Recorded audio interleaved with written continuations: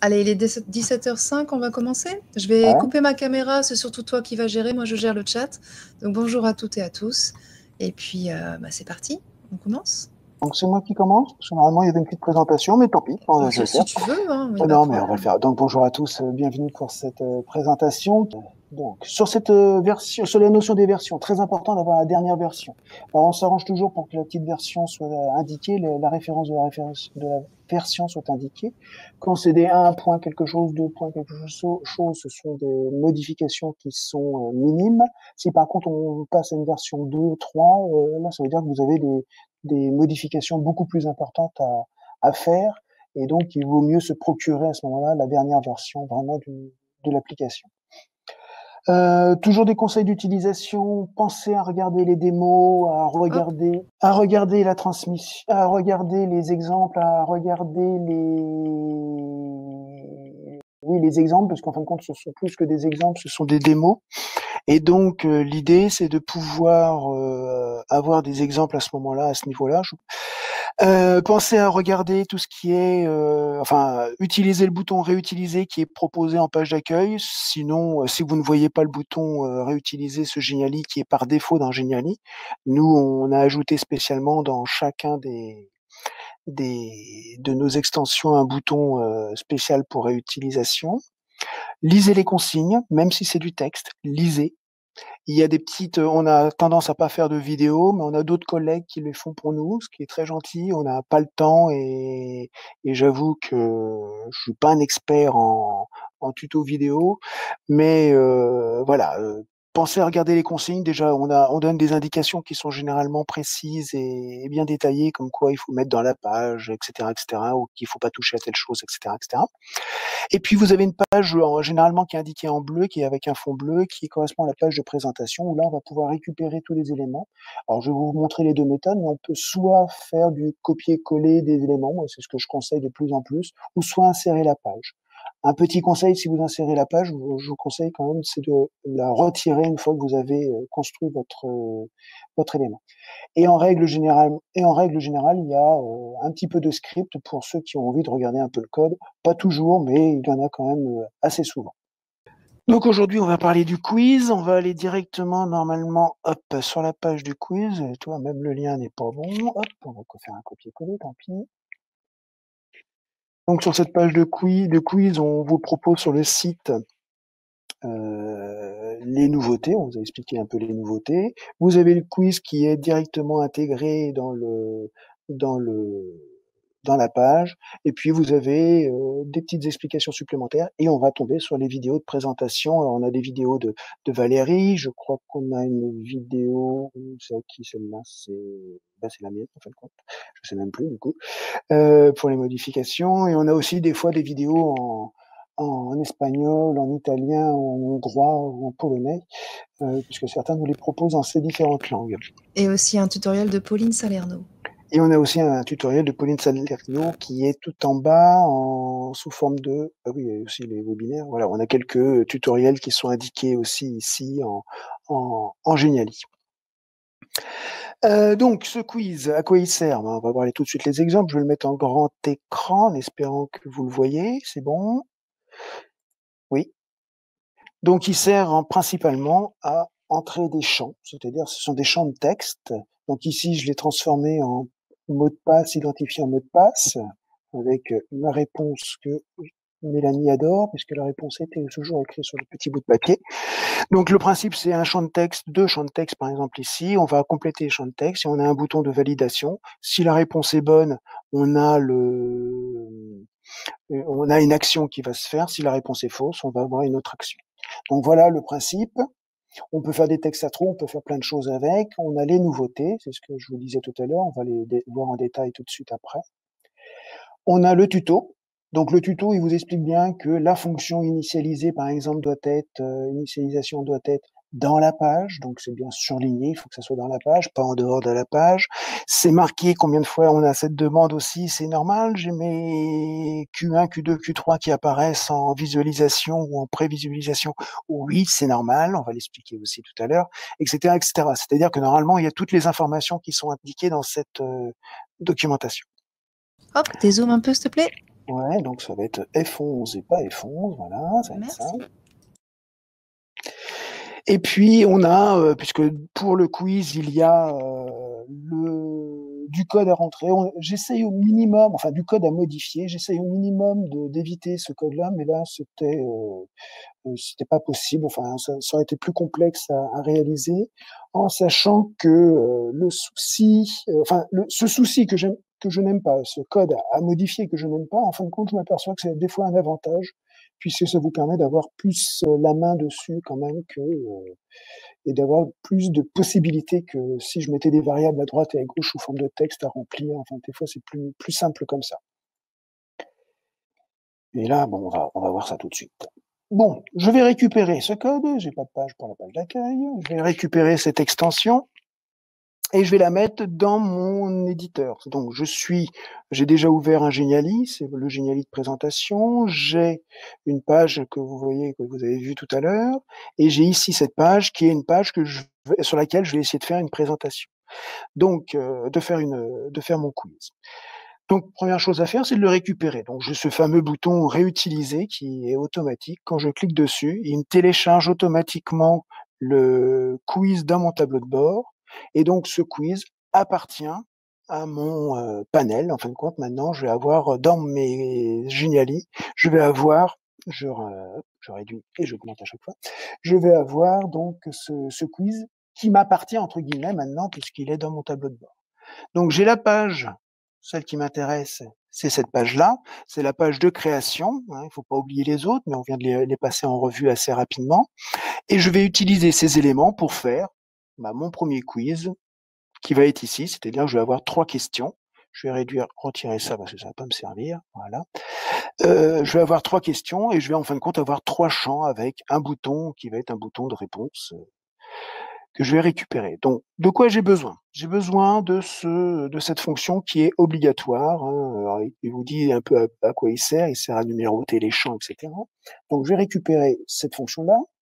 J'appuie sur euh, la touche majuscule et je clique sur ce champ-là, j'en prends qu'un, vous allez voir pourquoi tout de suite après. J'ai besoin de mon bouton valider et j'ai besoin de ces deux éléments qui sont les éléments de euh, d'apparition euh, de la bonne réponse quand j'ai une bonne réponse et d'une erreur si j'ai des erreurs euh, dans mon quiz. Je réduis, je vais faire un petit peu automatiquement de temps en temps quand je fais manip. Hein. Hop. Bien sûr, ça m'arrête pas copier ce que j'ai voulu copier. Ah, bien sûr. Hop, je reviens. CTRL C. CTRL V. Voilà. Donc ça me les a récupérés. Je les ai dans mon euh, diaporama, dans mon Geniali, que je vais pouvoir donc compléter. Une autre méthode, je vous la montre tout de suite. C'est tout simplement d'ajouter une page qui est une page de votre création. Donc je suis dans mon Geniali, je fais ajouter une page. Donc j'ai plusieurs possibilités, soit un modèle, soit des modèles Geniali, soit mes créations. Donc ce que je vous ai dit, c'est en l'important, en le réutilisant, je le récupère comme une de mes créations, donc je le mets, il est dans mes créations. On le voit, c'est le dernier téléchargé, donc il est en premier ici, sinon il y a un moteur de recherche. Je clique dessus et je vais chercher la page bleue, donc la page de création que j'ajoute à mon Geniali. Donc ça, revient un peu au même. Je peux partir de cette page de création ou faire des copies directs, copier-coller direct de cette page-là à ma page de, de création. Alors je vais revenir sur ma page. Celle-là, je la supprime parce qu'elle plus va pas m'être utile. Et donc, je vais continuer mon, quiz. Donc, j'ai ici mon bouton, ma fonction d'initialisation que je vais laisser dans ma page. J'ai mon bouton valider, on va lui voir ce qui est important tout à l'heure avec lui. Je vais tout de suite régler le problème de ces deux éléments. Alors, ils sont déjà groupés. J'ai préféré pour éviter des erreurs à l'époque, mais je peux tout à fait les dégrouper, retirer le OK, enfin retirer ce bouton vert et ce bouton rouge et les grouper avec ce que je veux. Alors ça peut être une image, ça peut être un texte. On a un feedback un petit peu ridicule, mais tant pis. Et on va dire que le cochon, ça va être en cas d'erreur qui va apparaître. Donc il suffit, alors je vais le mettre devant pour que vous le voyez, mais c'est pas une obligation. Il suffit donc de sélectionner les deux éléments et de les grouper. Attention, si l'élément n'est pas groupé, il va être automatiquement groupé avec la page. Et donc là, ça peut être source d'erreur quand vous affichez, quand vous avez une page blanche quand vous passez en prévisualisation, là, si je fais prévisualisation et si j'avais une page blanche, c'est tout simplement que j'ai un élément mal groupé. Donc actuellement, Hervé et, euh, et Nicolas s'arrangent pour faire, alors je l'ai fait aussi pour certains, pour avoir une sorte de page de débugage, hein, d'un document de débugage qui vous indique euh, les éléments qui ne sont pas groupés. C'est faisable, il faut y penser. Euh, simplement, quand on fait l'extension, et celle-là date un petit peu, c'était avant qu'on fasse une page de débugage. Mais par exemple, je peux vous faire la démo. Hein. Là, je, simplement, je vais dégrouper mon bouton erreur euh, avec mon cochon, donc il est vraiment tout seul, mais en fin de compte, il est groupé avec la page. Et comme par défaut, mon cochon doit disparaître quand j'affiche euh, la page, bah là, en fin de compte, c'est toute la page qui va disparaître. Pour la petite histoire, je me suis retrouvé quand je faisais les extensions au tout début avec euh, carrément mon interface complète de création qui disparaissait. J'étais bien embêté. J'étais obligé de supprimer, de recommencer. Donc voilà, j'ai déjà mes deux boutons qui sont cachés quand je lance ma page. Hop, bah alors, il pas. Voilà. Ils sont cachés quand je lance ma page et qui vont apparaître quand je, euh, là, si je valide, théoriquement, je vais peut-être avoir un message d'erreur. Oui, c'est normal, puisque j'ai pas changé le code à l'intérieur. J'ai mes champs. J'ai mes champs. C'est un joli jeu de mots d'ailleurs. J'ai mes champs de réponse. J'en ai qu'un pour l'instant. Donc, je fais un copier et je colle deux fois. Et ça me permet d'insister un petit peu là-dessus. Vous voyez que je viens de les copier et que je n'ai pas Q2, Q3. En fin de compte, la numérotation se fait automatiquement, mais elle se fait pas automatiquement en mode édition. En fin de compte, elle se fait automatiquement quand vous affichez la page. Donc, en toute rigueur, si j'affiche une page suivante, par exemple, et que je reviens sur ma page, la numérotation a été faite. Si vous avez un problème d'affichage, euh, vous prenez pas la tête à essayer de recommencer, etc. Le meilleur moyen, c'est en fin de compte de mettre en visualisation. Et en visualisation, vous allez avoir les Q1, Q2, Q3 qui sont forcément bons. Si là vous avez une erreur de numérotation, c'est que vous avez un élément qui est caché, qui est ailleurs dans, un, dans une autre page. Parce que ça peut arriver, ça. Des fois, ce qu'on fait, c'est ça. CTRL-C, CTRL-V. Je le mets ici. Il est soit dans la même page, soit dans une, je vais mettre celui-là là, vous comprendre pourquoi. Euh, soit il est dans une autre page, ou soit il est dans cette page-là, mais il peut être à l'extérieur. Alors des fois même, là on le voit, mais des fois il peut être très très petit ou très très loin et on le voit pas, ou même rendu transparent. Et à ce moment-là, en mode prévisualisation, bah, j'ai mon problème. Ah bah tiens, lui il a marché comme par hasard. Normalement j'aurais voulu avoir Q4. Si je le mets dedans, est-ce que j'ai Q4 Ouais, j'ai Q4. Comme quoi, vous voyez que, comment se comporte Geniali. Hein. C'est-à-dire que n'ayant pas mon champ dans la page, il considère qu'il appartient pas à la page et donc il fait pas la rotation. Mais je suis pas sûr qu'en visualisation, on n'aurait pas eu un problème. Donc euh, là, celle-là, c'est bien Q4. Si je fais hop, hop, j'ai bien Q4. Si je le supprime, le Q4 reste, mais en fin, en fin de compte, moi, je sais que c'est bien le dernier que j'ai créé, donc c'est bien Q3. Pour m'en assurer, je fais prévisualisation, je l'ai ici, ou je fais je vais à la page suivante, je reviens et j'ai la Ah, il n'a pas voulu. Alors quand il veut pas, il suffit de rafraîchir la page, il n'y a pas de souci. Rafraîchir carrément votre Geniali. C'est là qu'il va me mentir. Voilà, j'ai bien mes 1 Q3. OK? Donc ça, c'est valable pour certaines applications, hein, des, certaines extensions où il y a besoin d'une rotation automatique et ça se fait automatiquement, mais pas instantanément dans le en mode en mode Geniali, en mode édition. Euh, maintenant, pour les réponses. Les réponses, ça se fait dans le code. Donc, je viens simplement de cliquer sur l'interactivité. Attention à ne pas supprimer ce bouton, parce que si vous le supprimez, vous allez perdre aussi le code. Donc, si vous voulez le changer, parce qu'il y a la possibilité, le bouton bleu ne peut ne pas vous convenir, hein, vous pouvez vouloir une image. Il y a deux possibilités. Première possibilité, c'est je prends une image, je ne sais pas quoi, je vais aller chercher une ressource quelconque, je prends un bouton, que je vais mettre vert histoire de dire que c'est mon bouton de réponse. Et je peux très bien euh, mettre par-dessus, là par contre il faut qu'il soit absolument par-dessus, mon élément que je peux essayer d'agrandir. Bon, c'est pas toujours très esthétique, vous voyez, c'est pas génial, et que je peux essayer de grouper. Alors il va falloir que je le rende transparent avant. Donc ça, c'est une première possibilité qui est pas idéale, par exemple ici, puisqu'en fin de compte, mon, bah, je vais perdre le code, donc je peux pas grouper, excusez-moi. Mais mon bouton, je vais le laisser par-dessus, mais ça veut dire que l'interactivité n'est que sur la zone de mon bouton. C'est-à-dire que dès que je vais sortir du bouton, vous voyez, j'ai ici une flèche et je n'ai pas la petite main. C'est-à-dire que ça ne marchera pas quand je clique. Par contre, ici, ça va euh, lancer le test, la vérification. Une autre méthode, qui est beaucoup plus euh, intelligente, bah, c'est carrément de changer le code, d'aller chercher le code et de le copier. Donc je vais récupérer le code qui est ici. Alors on a l'impression qu'il n'y a rien dans euh, ma fenêtre, mais en réalité c'est ici en mode HTML. Tout le code est ici, tout le script. Donc je vais tout copier. CTRL A pour être sûr de tout copier. CTRL C. Je permets. Je prends mon bouton qui va être mon futur bouton vert. Je vais faire l'interaction.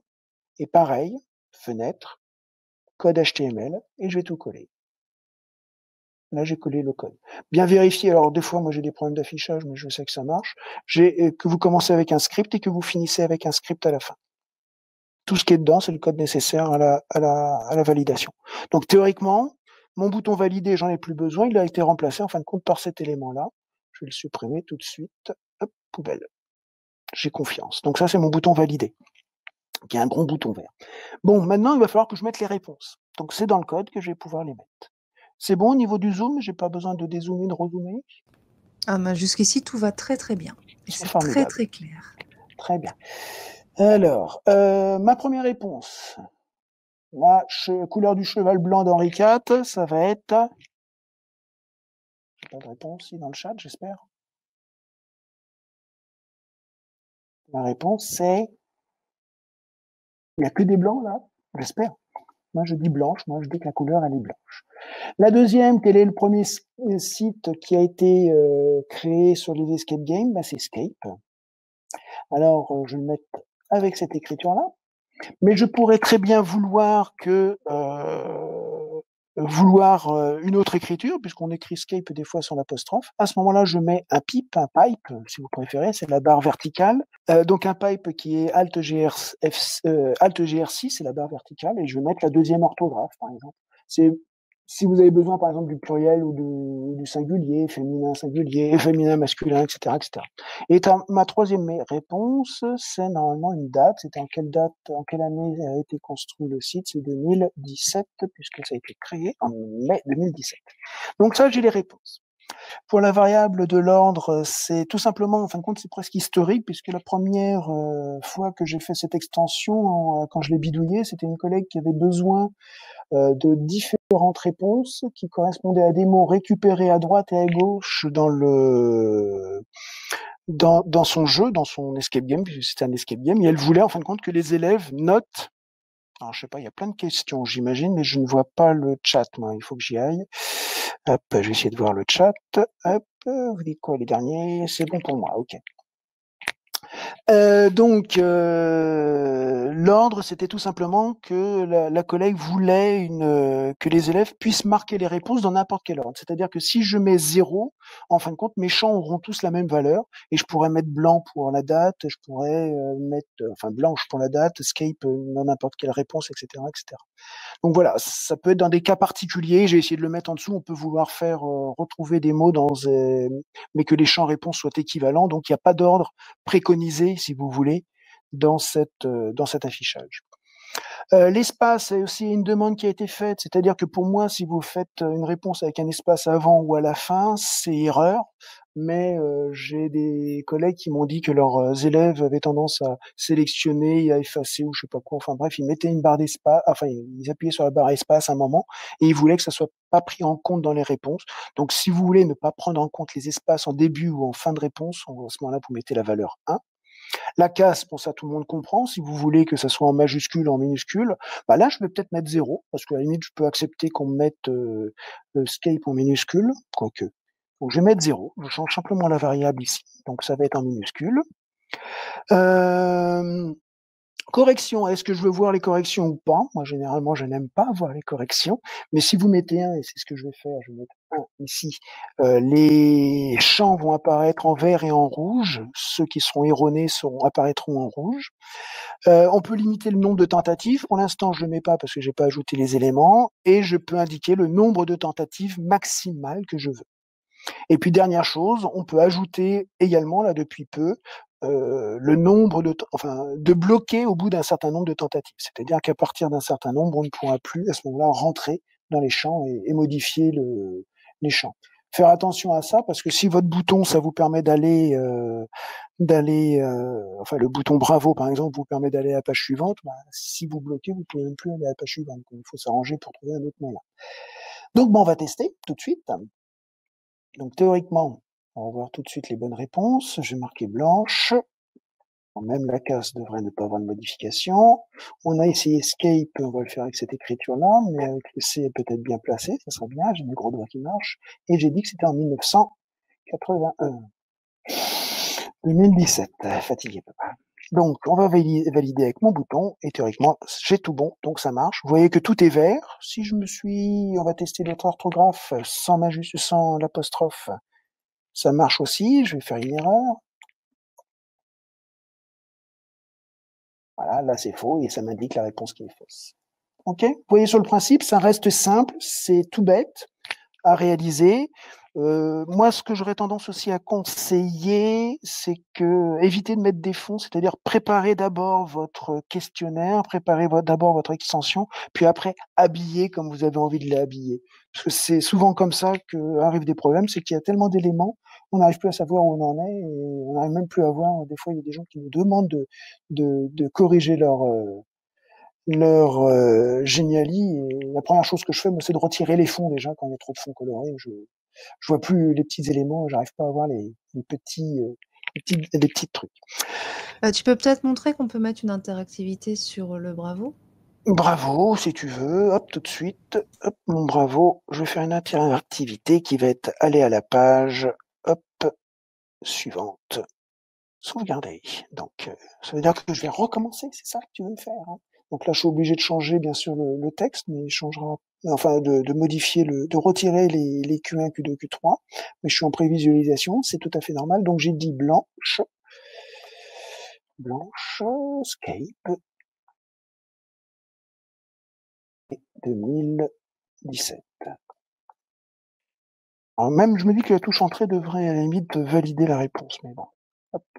Bravo. Et là, j'ai une interactivité qui va me permettre d'aller à la page suivante. Ok. D'autres éléments quand même, il y a quelques petits autres éléments. Il y a le masque. Alors le masque, ça a été suite à une demande, c'est pas grand chose. En fin de compte, le masque, c'est l'inverse de, de Bravo presque.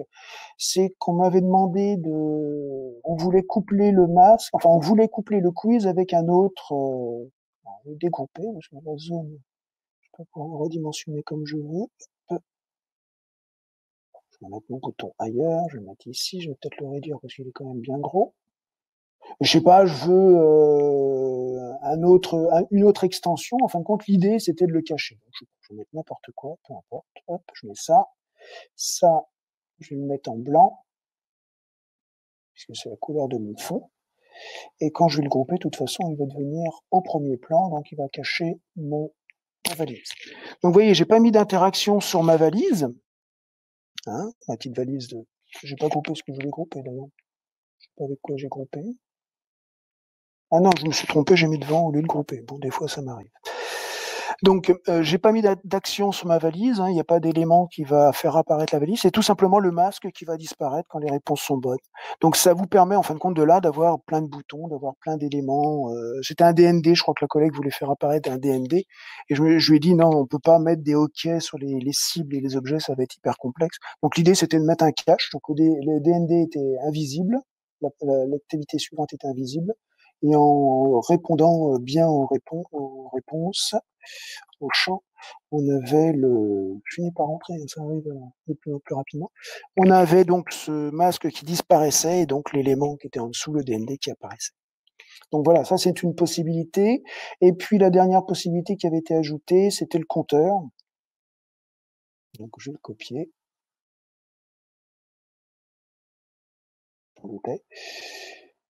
Sélectionner comme il fallait. On va le copier ici, ce sera plus simple. Donc le compteur, pour qu'il fonctionne, je vais mettre un peu en dessous quand même, pour qu'il fonctionne, il faut aller changer quand même le code, il faut l'activer. C'est-à-dire que là, euh... non, maintenant c'est le nombre de tentatives. Non, le compteur automatiquement dès qu'il y est, il va vous indiquer le nombre de réponses s'il est prévu pour. On peut changer normalement le texte. Alors faites attention à ça. Moi, souvent, j'ai des, on va retirer par exemple l'italique, je vais le mettre en gras, on va changer la couleur.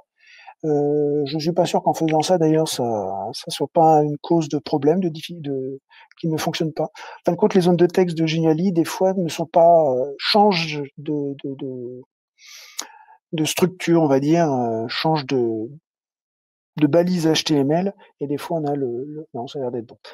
Et des fois, le fait de simplement changer la police, ça peut provoquer des problèmes. Donc, on va essayer, on va faire n'importe quoi. Hop. On va tester, normalement, je vais avoir de bonnes réponses. Ben non, ça marche pas, il faut que j'active quand même quelque chose, non? C'est quoi ta question? Ma question, c'est qu'en fin de compte, mon, mon compteur ne marche pas et comme je ne l'ai pas utilisé euh, tout à l'heure en retestant, je ne sais même bah, C'est la variable tentative, non? Tu as fait 1 pour afficher le nombre de tentatives. Ah oui, c'est le nombre de tentatives. C'est pas le, c'est le compteur de tentatives, excusez-moi, c'est pas le score. Et oui, c'est ce qui m'a été demandé, c'est un score que je vais faire. Oui, j'étais parti que c'était un score. Ok, j'ai rien dit. j'ai rien dit. Oui, le score, je vais faire que je ajoute un score, le nombre de réponses euh, obtenues, et en fonction du nombre de réponses obtenues, d'avoir un, euh, un, affichage qui va être conditionnel. Donc on va recommencer, on va mettre n'importe quoi. Donc là, il va mettre une tentative, voilà, c'est ça. Et il va dire en combien de fois on a répondu.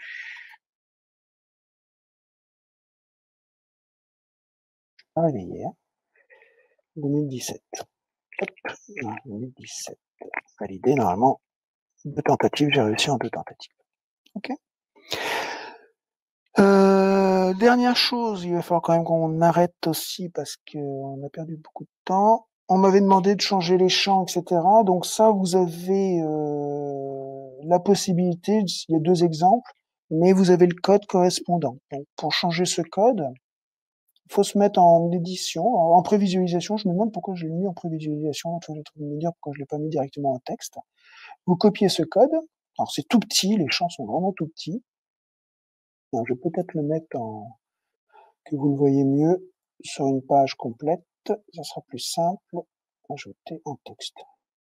Je pense que déjà vous le voyez un peu mieux. En gras, je vais augmenter la taille. Donc ça, c'est en fin de compte le code pour un champ qui est un peu trop grand malgré tout maintenant.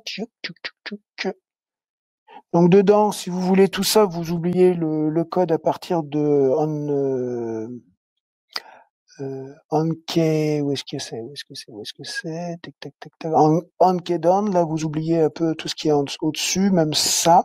Mais ce qui est important, c'est tout ce qui est dans le style. C'est-à-dire que là, vous allez entrer un champ de réponse, en fin de compte, un input. Et là, vous avez des éléments qui sont dans le du style, qui va être la marge. Je pense que ça se comprend, même si c'est de l'anglais. Hein, c'est moi qui vous le dis, c'est que ça se comprend. Vous avez la taille de la police. Alors, par exemple, on va faire une taille de police intermédiaire, on va mettre 30.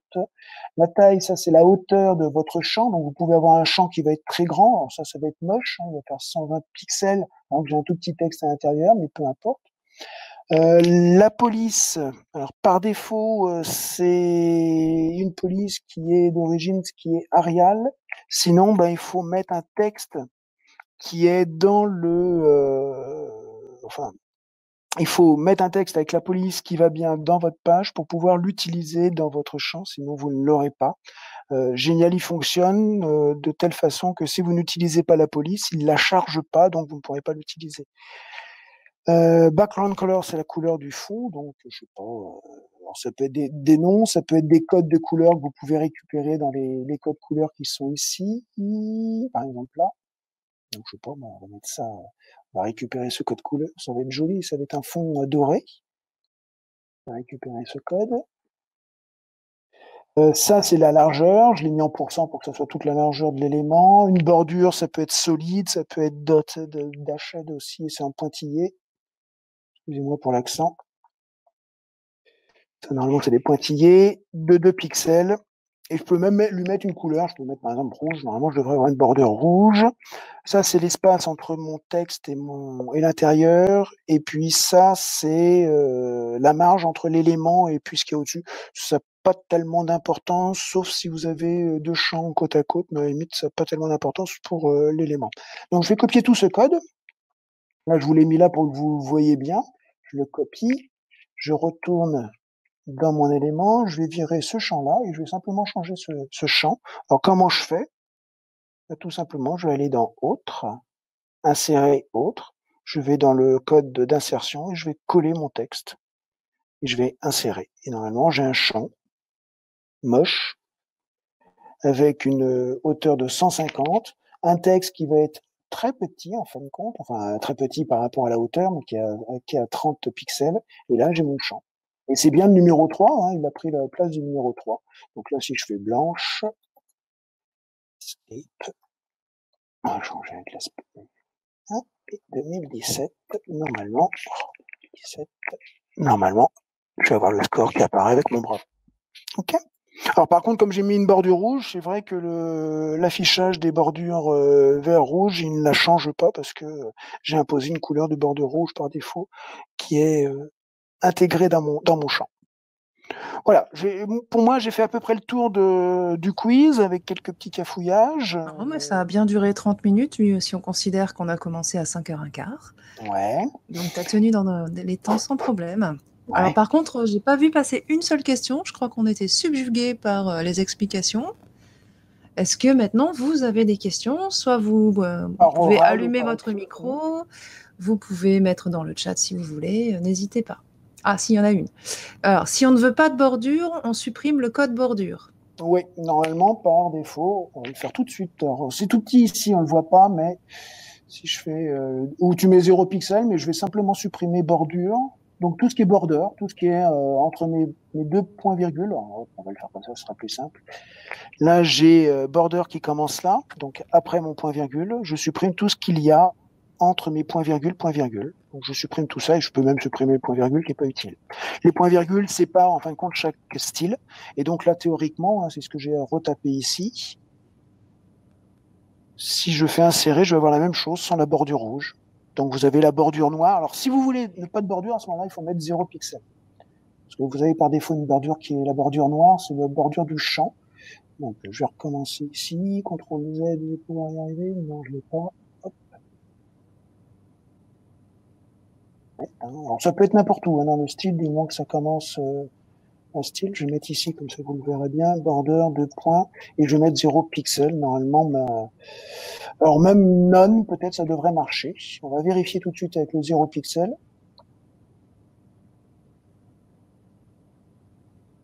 On est à la page quand même, je vais supprimer ça. Oui.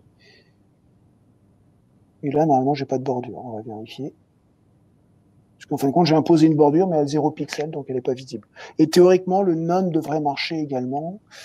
Hop, border none, c'est qu'il en demande pas.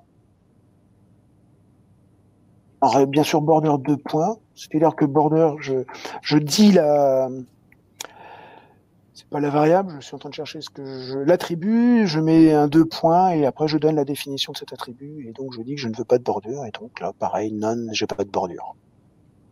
Alors, il y a une question comment voit-on le contenu de initialisation quiz, par exemple?